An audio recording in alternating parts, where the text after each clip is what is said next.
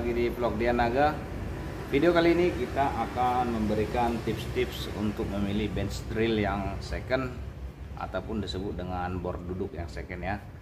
Nah, Jadi kita akan terangkan bagaimana tips-tips untuk memilihnya. Artinya kan kalau beli baru itu masih lumayan mahal Kalau kita beli second nah itu pasti ya minimal setengah harga. Oke akan kita terangkan apa aja tips-tipsnya ya. Ikuti video ini terus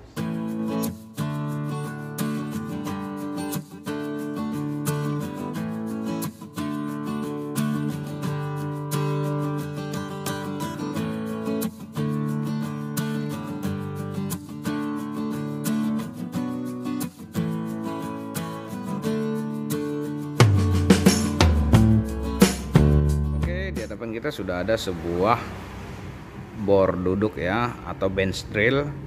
Ini juga kita ambil second atau bekas ya, bukan baru sama kita ini. Ini kita ambil second. Nah, jadi kita akan terangkan bagaimana tips-tips memilih bor second Oke, ya. Langsung saja yang pertama, jika kita ingin membeli bor duduk yang second, kita harus memastikannya dalam keadaan hidup. Kenapa harus dalam keadaan hidup? Ya karena yang menggerakkan itu adalah dinamo. Jika dinamonya keadaan mati, harga dinamo juga sudah lumayan mahal gitu ya. Jadi yang penting ini kita pastikan dulu menyala. Itu yang pertama kali. Oke, yang berikutnya. Yang berikutnya itu adalah ini. Jadi di sini ada sebuah per ataupun pegas yang jika kita turunkan ini dia akan menarik kembali gitu ya. Nah jadi yang penting kita pastikan tidak ada kerusakan pada per gitu. Karena ini pernya ini sering juga patah. Jadi dia jika kita turunkan dia tidak mau balik ke atas gitu ya. Yang kedua jadi yang berikutnya kita cek ke dalam ya. Nah di sini ini kelihatannya sangat kotor ya. Tetapi yang penting kita cek adalah ini. Jika kita putar dia akan terasa mulus gitu ya. Artinya tidak ada seperti gesekan. Nah, jadi kita di situ fungsinya adalah mencek lahar. Ya, ya lahar dinamo. Nih kalau kita gini kan ini akan terasa dia jika laharnya rusak ini ya. Begitu juga di sini. Di sini juga ada lahar jadi kita pastikan juga semua tidak ada seperti gesekan. Nah ini sangat mulus dia jalan. Ataupun sangat lancar gitu ya. Oke yang berikutnya kita pastikan yang di sini. Ya di sini sering ini ada patah. Ya karena sering kuncinya terlalu kuat. Nah jadi terkadang megang mejanya ini tidak kuat lagi gitu ya. Ya kita cek bagian-bagian yang mana yang ada retak ataupun patah gitu ya. Nah jadi kita pastikanlah keadaannya dalam original gitu. Jangan sampai ada yang bekas-bekas dilas ataupun yang dirombak-rombak ya Oke, yang berikutnya kita pastikan di sini ya. Ini masih keadaan bagus. Oke. Ini jangan sampai nanti dia rusak ini ya. Karena ini sering jika hilang kunci kunci bornya yang ini ya. Nah, jika hilang ini para tukang biasanya ya akan memahat ini cara membukanya. Jadi ini sering rusak gitu. Jadi bukan hanya di sini saja yang rusak jadi nanti di dalam ini yang rusak gitu. Oke jadi kita pastikan itu bahwa tidak ada kendala gitu ya, ya. oke jadi yang berikutnya ya ini saklar biasa lah ya. Nah di sini juga nampak dia jika saklarnya rusak berarti kemungkinan ini pemakaiannya sudah lama ya udah banyak ya.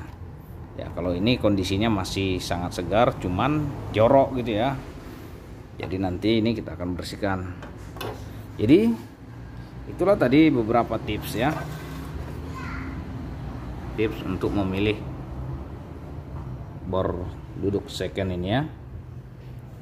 Artinya jangan sampai salah pilih karena untuk biaya perbaikan-perbaikan ini lumayan tergolong mahal.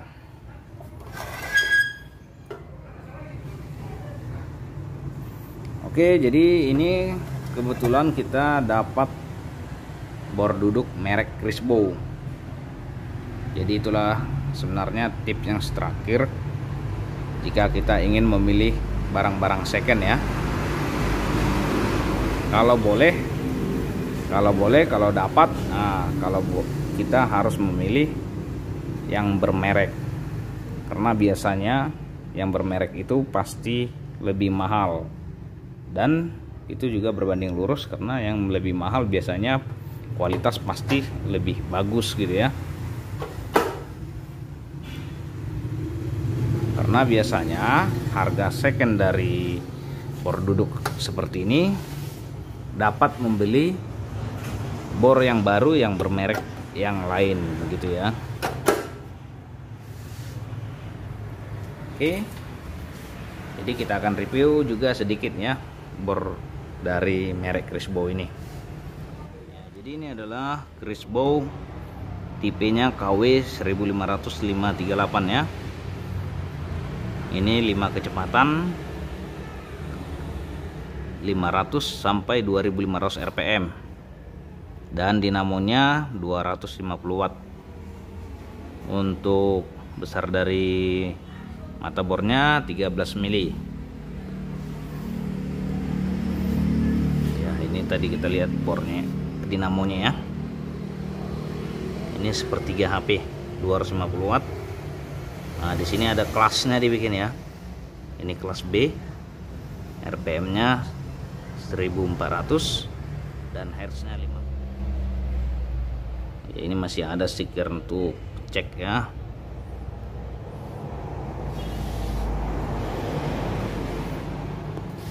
Oke, jadi di sini Nah, di sini ada tingkatan-tingkatan ya, polinya ya. kebetulan ya. ada masih indikator dari pemasangan tali poli ya jadi kalau kita bikin yang paling rendah yang saat ini yang kita gunakan ini adalah untuk memaksimalkan torsinya atau tenaganya nah, namun putarannya ini lambat gitu ya jadi kalau untuk besi biasa itu kita gunakan yang paling lambat. Karena kita butuh tenaga gitu ya. Tapi kalau kayu atau barang-barang ringan lainnya kita butuhkan yang lebih cepat. Jadi jika ini kita bikin semakin ke atas nah ini semakin kencang gitu. Ini yang paling lambat ini. Nah, jadi kalau kita bikin di atas ini ya di atas putaran yang paling tinggi ini kita lihat indikatornya di sini sampai dia 2500 rpm oke. Ya di sini ada untuk putaran dari menggeser dinamo ya. Fungsinya ini adalah jika tali poli ini longgar. Nah ini jika ini longgar kita bisa setelnya di sini jadi kita longgarin dulu ini kita dorong dia akan menggeser dinamo tersebut. Gini ya coba contoh. Ya ini ha sini kita menggerakkan dinamo. Jadi semakin kita dorong gini tali poli ini akan semakin ketat.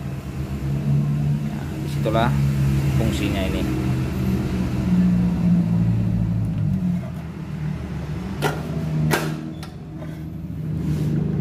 oke yang ini. Ini adalah fungsinya sebenarnya ini tutupnya ya untuk pelindung debunya ataupun bekas dari pemborannya agar tidak ke mana-mana gitu. Namun ini sudah tidak ada. Ya maklumlah itulah beberapa kekurangan barang-barang second ya dari pemilik sebelumnya.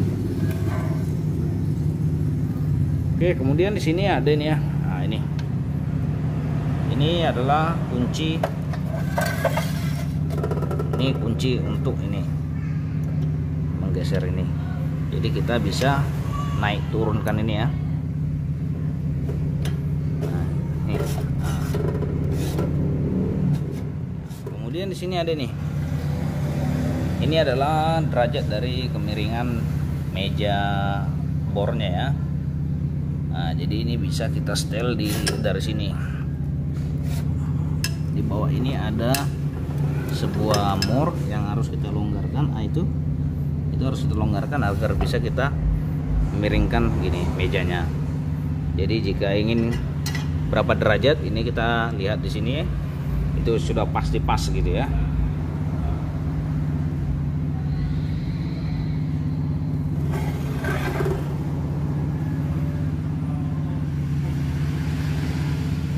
Oke.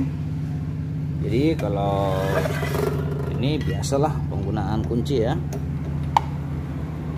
Seperti biasa. Nah, jadi kebetulan di sini semua segel-segelnya masih asli ya.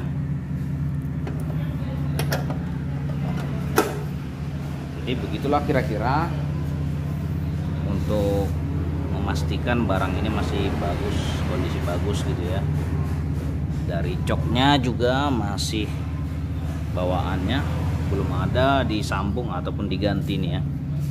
Karena kalau diganti nah di sini akan nah, pasti ada perbedaan kabel gitu. Oke? Oke jadi itulah tadi beberapa tips untuk memilih bench drill second ataupun bor duduk second ya jadi jangan sampai rekan-rekan salah pilih. Karena jika salah pilih nanti ya bisa saja nanti tidak langsung kita pakai. Jadi kita capek untuk memperbaikinya dulu lagi gitu ya. Memperbaikinya dulu bukan hanya capeknya tetapi keluar duit lagi gitu. Jadi itu tadi beberapa tips dari saya yang mudah-mudahan dapat membantu pada rekan-rekan semua ya di dunia perbengkelan ini. Oke. Jangan lupa like komen dan share ya. Sampai jumpa di video-video berikutnya